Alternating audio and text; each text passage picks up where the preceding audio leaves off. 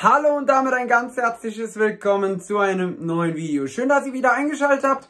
Heute möchte ich mit euch natürlich wieder über ein paar Themen sprechen, unter anderem natürlich über Farid Alidou und Damian Downs, die beiden Derby-Helden von letzter Woche und natürlich auch Benno Schmitz, denn da soll es wohl jetzt auch was passieren und genauso bei Justin Deal. Alles das erfahrt ihr jetzt in diesem Video. Ich wünsche euch ganz viel Spaß beim Zuschauen. Und jetzt geht es los mit Farid Alidou. Ja, der Junge macht einfach extrem Spaß. Gerade auch letzte Woche gegen Gladbach. Zwei Tore erzielt. Und wie gesagt, Frankfurt kann ihn zwar auch zurückkaufen. Er ist ja bis jetzt nur ausgeliehen vom ersten FC Köln. Und ich glaube, da haben auch schon einige FC Fans gesagt, der Junge muss auf jeden Fall nicht nur wegen der Transfersperre, sondern einfach, weil er einfach auch ein sehr guter Spieler ist zurzeit, muss er definitiv auch langfristig gebunden werden beim ersten FC Köln. Und ja, wie gesagt, die Laie sollte man auf jeden Fall, oder die Kaufoption vielmehr, sollte man auf jeden Fall ziehen. Und das ist auch meine Meinung tatsächlich, weil Farid Alidou, klar, unter Baumgart war er nicht wirklich ähm, ja, im Einsatz. Man muss aber auch wirklich sagen, er hat auch wenig Chancen bekommen von Steffen Baumgart. Er wurde direkt, direkt gesagt, nee, der hätte kein Bundesliga-Niveau, wo ich mir echt frage, äh, hallo, also, ne, also das, was er bis jetzt gezeigt hat, ist einfach nur absolut top. Und ich glaube auch wirklich, dass ein Farid Alidou auch in Zukunft oder vielmehr jetzt auch für die nächsten Spiele auf jeden Fall richtig entscheidend werden könnte für den ersten FC Köln und natürlich um das große Ziel Klassen halt eben auch zu schaffen. Und das gleiche gilt auch für Damien Downs. Damien Downs wurde ja auch lange gesagt, hm, hm, weiß ich nicht und ne, soll lieber in der U21 spielen. Auch ein Timo Schulz hat auch da länger meiner Meinung nach gewartet und gesagt, na ja, der Junge ist noch nicht so weit, wo ich sagen muss, also das hat er gerade gegen Gladbach mal absolut bewiesen, dass er auf jeden Fall ein Kandidat ist, auch für den ersten FC Köln im Profibereich, nicht nur für die U21. Also auch da fordere ich tatsächlich auch hier als FC-YouTuber, sage ich mal, dass der Junge jetzt spielen muss und eigentlich auch gerade jetzt gegen Leipzig äh, auf jeden Fall auch wieder ran muss. Das ist, glaube ich, ganz klar. Das gleiche gilt auch für Farid Alidou. Und ähm, deswegen, also die zwei Spieler müssen auf jeden Fall jetzt mehr noch gebunden werden beim ersten FC Köln. Und ähm, ja, damit eben auch nicht der Gedanke kommt, vielleicht den Verein irgendwann mal verlassen zu wollen. Ja, kommen wir direkt zu diesen zwei Kandidaten. Benno Schmitz hat sich da jetzt wohl auch schon ein bisschen geäußert und da sieht es wirklich ja leider so aus, dass er eben den Vertrag nicht verlängern wird und eben ja den ersten FC Köln im Sommer verlassen wird. Und das finde ich persönlich sehr, sehr schade, denn Klar, er passt nicht so wirklich in das System von Timo Schulz. Das hat man jetzt gerade auch wirklich gemerkt. Ähm, na, auch gegen Gladbach, wo man ja auch vielleicht mit Benno Schmitz hätte beginnen können. Aber es war eben Rasmus Carstensen, der da eben stand. Ähm, was ich halt schade fände, weil, wie gesagt, Benno Schmitz hatte eigentlich auf unserer Rechtsverteidigerposition nie wirklich äh, Konkurrenz. Klar, äh, Kingsley Easy Bue war da noch mit dabei. Früher auch Kingsley Schindler. Aber das waren halt alles so Spieler, ja, die hatten jetzt, waren jetzt auch nicht so durchgestartet beim ersten FC Köln. Da war Benno Schmitz eben schon eher so ein Fels in der Brandung, wie es jetzt Jeff Jabot eben in dem Fall ist. Ne, also deswegen, da hatte er jetzt auch nicht so die krasse Konkurrenz. Und jetzt kommt eben mal ein bisschen und jetzt will Benno Schmitz direkt den Verein verlassen. Finde ich persönlich ein bisschen schade. Und man muss natürlich auch sagen, als FC-Sicht ist es natürlich auch schlecht, denn wie gesagt, wir können keinen Spieler äh, verpflichten. Das heißt, wir könnten höchstens in der U21 gucken, ob es da eben einen Rechtsverteidiger gibt, der dann äh, ja anstelle von Benno Schmitz eben den Backup spielt. Ähm, und das ist eben dann auch wieder schwierig. Weil ich meine auch zu oder gehört zu haben, dass eben auch in der U21 ein Rechtsverteidiger auch den Verein verlassen wird.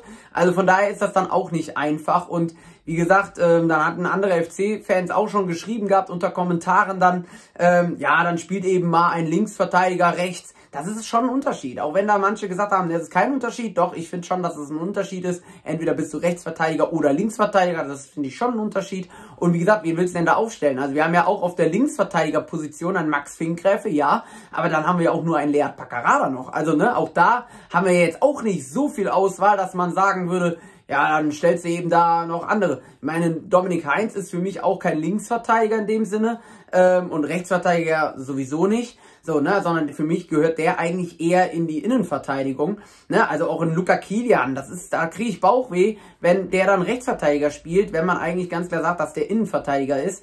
Ähm, also, ne, das ist dann auch wieder so eine Sache mit, ja gut, man kann ja auch Florian Kainz als Sechser fungieren lassen, ist ja jetzt auch nicht so ein Riesenunterschied, doch ist es eben. Man hat es auch gerade gemerkt dann, wenn er Sechser war, das hat eben nicht funktioniert und ich glaube auch, wie gesagt, dass das eben dann auch bei, ähm, ja, bei dem Rechts Rechtsverteidiger auf jeden Fall so sein wird. Also deswegen hoffe ich irgendwie immer noch, dass Benno Schmitz den Vertrag noch verlängert und eben äh, ja diesen ja, einfach diesen Kampf dann einfach annimmt und äh, ja, dann am Ende sich einfach durchsetzt, ne, gegen Rasmus Carstensen, denn wie gesagt, gerade Konkurrenzkampf belebt ja nun mal eigentlich das Geschäft und äh, ja, wie gesagt, anscheinend ist der Benno Schmitz aber eher einer, der dann sagt, okay, dann gucke ich mal woanders, wo ich dann Stamm spielen kann. Fände ich halt, wie gesagt, sehr schade, wenn er wirklich den Verein verlassen sollte. Ja, und jetzt sprechen wir über einen, wo es wohl so feststehen sollte, dass der den Verein verlässt. Viele haben schon gesagt, sie glauben auch daran, dass er den Verein verlassen wird. Dann gab es ja nochmal so ein kleines Umdenken und Gespräche wurden geführt. Und man hatte dann schon, also ich zumindest hatte dann schon noch so ein Stück Resthoffnung, denn die Hoffnung, ja, stirbt ja auch bekanntlich zuletzt. Jetzt ist sie wohl auch gestorben, denn Justin Deal wird dem 1. FC Köln wohl im Sommer verlassen und geht wohl zum VfB Stuttgart. Ja, nicht nach Leverkusen, sondern zum VfB Stuttgart. Das berichten gerade sehr, sehr viele Medien, unter anderem eben auch sehr vertraute Medien, auch viele VfB-Fanseiten und so weiter und so fort. Also das scheint wirklich sehr, sehr deutlich zu werden. Und äh, wie gesagt, die Gespräche sind ja auch jetzt nicht neu, sondern das ist eben schon was, was eben auch schon länger äh, läuft. Und ja, es ist natürlich extrem schade, wie ich finde, weil ich sehe in Justin Deal sehr, sehr viel Potenzial. Klar, ne, ein Damian Downs hat jetzt schon seinen ersten Treffer erzielt, das hat eben ein Justin Deal noch nicht. Aber trotzdem sehe ich in dem Jungen sehr, sehr viel Potenzial und ich finde es halt einfach sehr, sehr schade, dass es eben jetzt nicht beim FC weitergeht.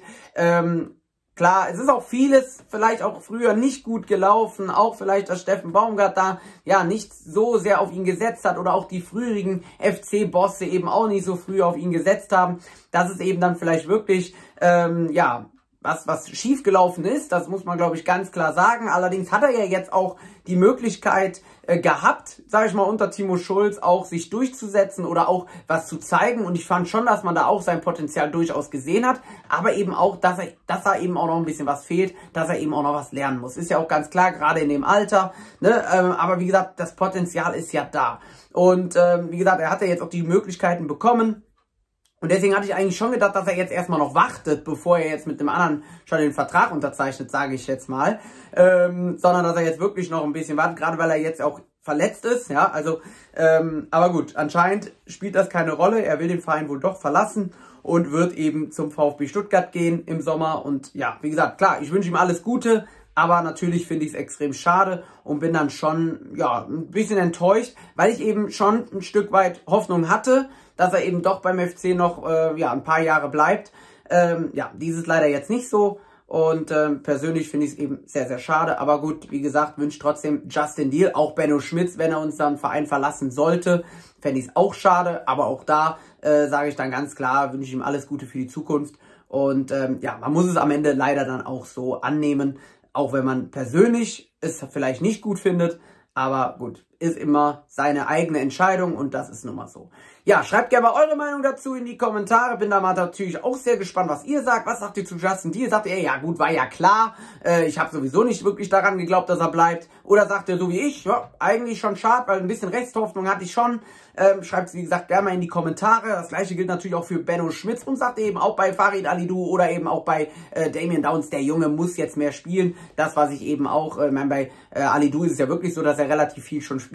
Aber bei Downs, Downs äh, ne, damit das eben nicht passiert, wie jetzt mit Deal, sondern den Jungen brauchst, musst du jetzt einfach fördern, den Jungen musst du jetzt spielen lassen und ich erwarte eigentlich auch, dass ein Timo Schulz gerade gegen Leipzig dann den Jungen auch wieder ähm, jetzt nicht vielleicht von Beginn an bringt, obwohl das vielleicht auch mal eine Möglichkeit wäre, mit Selke zusammen zum Beispiel, würde ich auch gerne mal sehen, ne? aber dass er auf jeden Fall jetzt Spielzeit bekommt. Ich glaube, das ist ganz entscheidend. Wie gesagt, schreibt das auch gerne mal in die Kommentare, wie ihr da äh, zu steht, was eure Meinung ist. Das würde mich sehr interessieren, denn wie gesagt, das ist ja auch, ne? also ich habe meine Meinung, ihr habt eure Meinung, das ist eben auch das Schöne, dass vielleicht auch andere Meinungen noch mit dabei sind, die ich vielleicht jetzt nicht so gesehen habe. Ne? Also das ist ja auch dann ganz schön.